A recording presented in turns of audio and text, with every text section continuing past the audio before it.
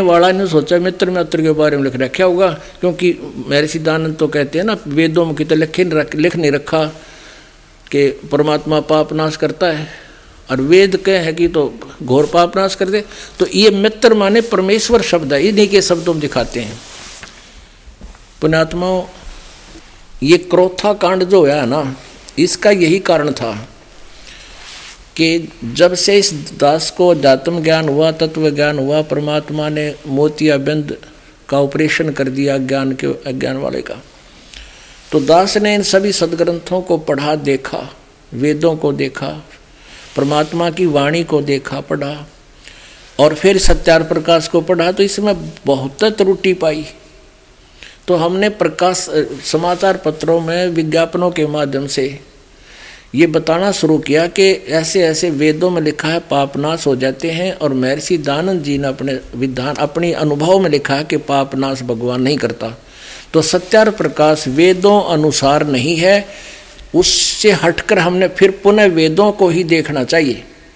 इस बात का उन व्यक्तियों को दुख हो गया जो आचार्य लोग थे, क्योंकि उनकी दुकान बंद होने को आएगी लोग उनको धिक्कार करते कि तुम इतने दिन हो गए तुमने पढ़ा कोई ना ढंगता है और सत्यार प्रकाश बेकना बंद हो गया, हो जाएगा।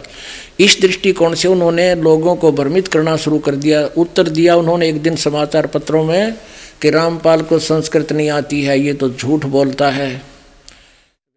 वेदों में कहीं नहीं लिखा है, भगवान पाप नाश कर देता। तो हमने फ़ोटो स्टेट कॉपी करवा कर विज्ञापन के माध्यम से आठवें अध्याय के यजुर्वेद की तेरहवें मंत्र की भेज दी, पेपर में निकलवा दी। कि दयानंद जी की ही अनुवादित है, पढ़ लीजिए। तो उन्होंने उत्तर दिया कि उसमें तो मित्र के बारे में लिख रखा है, भगवान के बारे में नहीं। यानी इनका उद्देश्य यह था दुनिया को भ्रमित रखें, सच्चाई से परिचित ना हो जाएँ, और इस कारण से इन्होंने दुनिया को सच्चाई से हटा करके झूठ बोल बोल कर बदनाम करके ये इतना जुल्म करवा दिया। अब देखो सत्यार प्रकाश दयानंद जी का। ये सत्य, वही सत्यार प्रकाश है। इसके प्रकाशक हैं वैदिक यति मंडल वही नो का नो, जो अभी आपको दिखाया था। दयानंद मठ दीनानगर, पंजाब से। और ये यहाँ से छपा है। आचार्य प्रिंटिंग प्रेस, दयानंद मठ, गोहाना मार्ग, रोहतक, दुर्वासी इसके प्रथम समोल्लास में, प्रथम अध्याय में, और 18 नंबर पृष्ठ पे, ये प्रथम समोल्लास है। और ये 18 पृष्ठ पे यहाँ लिखा है, जो सबसे स्नेह करे और सबको प्रीति करने योग्य है, वह परमेश्वर सबका सच्चा मित्र है। इससे परमेश्वर का नाम मित्र है। तो वहाँ मित्र मीन हमने परमेश्वर ही जानना पड़ेगा, लगाएँगे हम। अब लीजिए यजुर्वेद, उन्हीं के द्वारा अनुवादित है, महर्षि दान द्वारा, जो हम अभी पढ़ रहे थे। इसमें क्या लिखा है? ये अनुवाद है यजुर्वेद अध्याय नंबर आठ के श्लोक मंत्र नंबर तेरह का। हे सब के उपकार करने वाले मित्र, अर्थात परमेश्वर, आप देव करते से दान देने वाले के अपराध के एन से माने अपराध कहो, पाप कहो एन से माने अपराध एन से माने पाप पाप कहो चाहे अपराध कहो। आप दान देने वाले के एन से माने पाप के, अपराध के अवेदन माने विनाश करने वाले हो, ओहो। यानी पाप छुड़वाने वाले हो, पाप नाश करने वाले हो मनुष्य कर्तव्य साधारण मनुष्यों के किए हुए एन से माने अपराध के अवैधन माने विनाश करने वाले हो पितृ कर्तव्य पिता के किए हुए एन से माने एन से माने अपराध के, इन्होंने विरोधाचरण के लिखा है। अवैधन माने हरने वाले हो, छह प्रकार नाश कर हरने वाले हो। आत्म करते से अपने किए हुए अनस्य माने पाप के, अपराध के अब अवजन माने नाश करने वाले हो, छुड़वाने वाले हो, दूर करने वाले हो।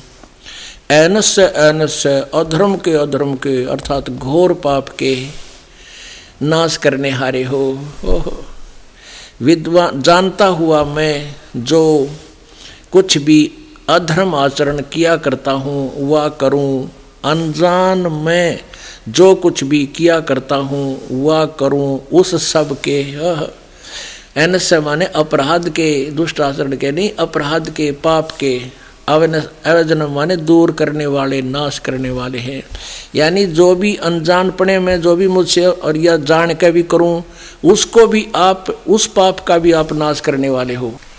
अपनात्माओं, ये वेद, ये ये ना समझना कि इसमें एक सेंटेंस लिखा है कि मैं जान का पाप करूँ चाहे अनजाने में करूँ, सब का पाप का नाश करने वाले। इसका अर्थ क्या है?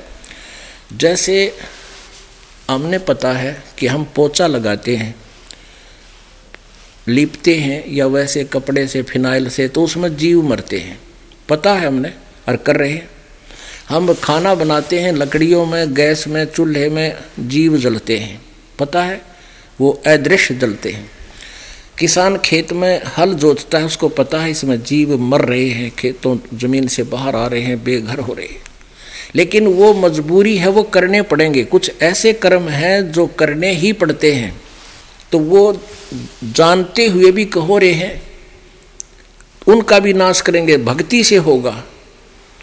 जैसे कपड़ा प्रतिदिन प्रतिदिन यूज़ करने से मैला होता है तो प्रतिदिन साबुन और पानी का प्रयोग करो, साफ़ होता रहेगा।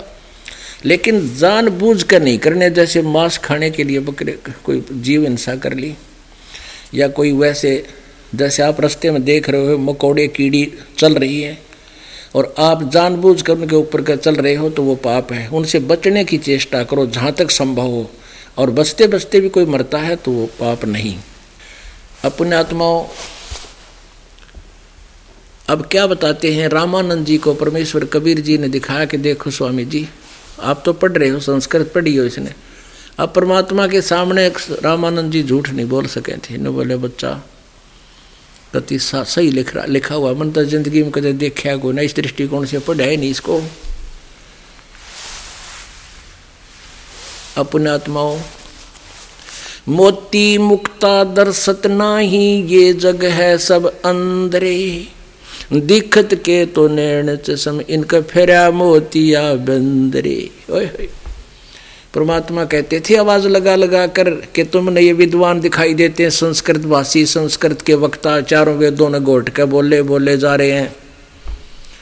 ये तो इनका मोतिया बंद हो रहा है, इनको ज्ञान कति नहीं। जैसे किसी का मोतिया बंद हो जाता आँखों में, वो आँखें कति स्वस्थ दिखाई देती हैं, स्वस्थ स्वस्थ। लेकिन उनको दिखता कति नहीं, अंधे होते नपट अंधे। तो परमात्मा कहते, तुमने ये विद्वान दिखाई देते हैं, ये मैं ऋषि की पदवी लाए, फिर इन्हें कह कह का भी नहीं पता, वेदों में क्या लिखा हुआ है? गुरु बिन काहू न पाया ज्ञाना जो थो था बुस छड़े किसाना। गुरु बिन वेद पढ़े, जो प्राणी समझे न सार रहे अज्ञानी। परमात्मा ने रामानंद जी को वेद पढ़ाए। रामानंद जी 104 साल के बुढ़े ने चरणों में शीश रख दिया कि आप गुरु, मैं आपका बालक निरंजन धन तेरा दरबार, निरंजन धन तेरा दरबार। जहाँ पर तनिक ना न्याय विचार, जहाँ पर तनिक ना न्याय विचार। परमात्मा क्या करते अरे ज्योत निरंजन काल, इस तेरे लोक में कित न्याय नाम की चीज़ नहीं। कित तनिक भी जरा सा भी न्याय नहीं है। निरंजन धन तेरा दरबार, निरंजन धन तेरा दरबार। जहाँ पर तनिक ना न्याय विचार ले वह भूत भी लाग गया बोलने साची कहे भाई। क्यों भी इसने बेरा पट गया, वे बर गया, हम तो हमारी तो बिरान मैटी हुए ली। गलत साधना करके भूत बन गए, मारे किलकी पड़े पड़े हुए तो पुण्यात्मा ये बिरान माटी नकली गुरुवान करा रखी अपने दादे परदादों की, पूर्वजों की। वो बोली, आत्मा थी इन पर विश्वास करा करते बड़े विद्वान और वेदों के ज्ञाता। इन्हें कह का भी नहीं पता था, ये पाखंडी थे। परमेश्वर कहा करते थे, निरंजन धन तेरा दरबार, निरंजन धन तेरा दरबार, जहाँ पर तनिक न न्याय विचार। वैसा उड है मुल मुल खासा गल मोतियों के आर। वैसा ओढ़ मुल मुल खासा गल मोतियों के आरे। पति भरता को मिले न खादी, सूखा नरस आहार निरंजन। दन तेरा दरबार निरंजन। भाई पाखंडी की पूजा जग में और संत को कहें लबाड़े। पाखंडी की पूजा जग में संत को कहें लबाड़े। अज्ञानी को परम विवेक की ज्ञानी को मूड गवार निरंजन। धन तेरा दरबार निरंजन। धन तेरा दरबार जहाँ पर तनिक न न्याय विचार। कह कबीर सुनो भाई साधो या सब उल्टा व्यवहार। कहे कबीर, सुनो भाई साधो, या सब उल्टा व्यवहार। सच्चों को तो ये झूठा बतावे, इन झूठों का एतबार निरंजन। धन तेरा दरबार निरंजन, धन तेरा दरबार जहाँ पर तनिक ना न्याय विचार। कह कबीर, सुनो भाई साधो या सब उल्टा व्यवहार। कहे, कबीर सुनो भाई साधो, या सब उल्टा व्यवहार। सच्चों को तो ये झूठा बतावे, और इन झूठों का एतबार निरंजन। धन तेरा दरबार निरंजन, धन तेरा दरबार।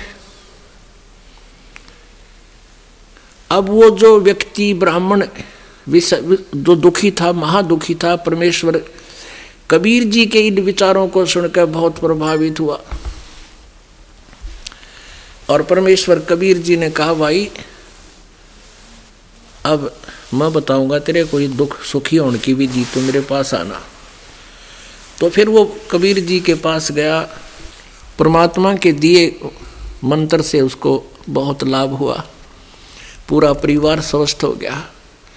घर में वृद्धि धन वृद्धि होने लगेगी बरकत होने लगेगी बहुत अच्छा बहुत अच्छी प्रकार वो जो ना, हर तरह से उसका लाभ हो गया। रट जाओ बू तो अपना तो काम बिगाड़ दिया हम न तो लेने दो, थोड़ा आनंद, भक्ति का। अब उसने पर वो तो फिर समझ गया, जब वेदों में लिख रखे लिखा हुआ है कि भगवान गौर पाप ने काट दे। परमात्मा के चरणों में गया, सारे सब सुख हो गया। तो वो व्यक्ति फिर एक दिन कुदरती उस शारदा के पास चला गया। परमात्मा भेजता अपने बच्चों को, निकालता काल के जाल से। अब शारदा से कुशल मंगल पूछी शारदा ने अपना दुख रोया कि मैं तो बहुत दुखी होगी, मेरा तो इंतज़ार कर रही हूँ, कब मौत आवे, मेरा दुख दूर हो। मर के पांडा छूटेगा, पीछा छूटेगा। तो उस ब्राह्मण ने, जो कबीर परमेश्वर का शिष्य होने के बाद सब सुख हो गए थे, परिवार भी स्वस्थ हो गया था, घर में भी खूब लाभ हो गया था, कर्जा भी उतर गया उसका सारा। और जो रिश्तेदार उसको देखकर भी प्रसन्न नहीं थे टोटे के कारण अब वो ही उससे उधार लेने आ रहे हैं। शारदा जी से उसने कहा, शारदा जी, आप मेरी बात मान लो, एक महात्मा गुरु जी से उपदेश ले लो, आपका दुख दूर हो जाएगा, आपका कष्ट नहीं रहेगा। शारदा जी ने सोचा, भाई, ये ब्राह्मण है और मैं इससे खूब परिचित हूँ, ये बहुत दुखी था और आज ये कति सुखी हो गया। उसने सोचा ये ब्राह्मण है, कोई अवश्य ब्राह्मण गुरु बनाया होगा। उससे पूछा कि कौन है आपके गुरु जी तो उस व्यक्ति ने कहा कि कबीर परमात्मा। वो कहने लगी, वो दानक अब वो कहने लगा, वो उसका रिश्तेदार के शारदा। अब तेरे लिए से वो दानक है, मेरे लिए तो परमात्मा है। और वो परमात्मा आए हैं, सतलोक नथ चलकर। और जो काम भगवान किया करता वो भगवान आज काशी में करने लग रहे हैं, जब करवाया जाता करवा ले। एक बात बता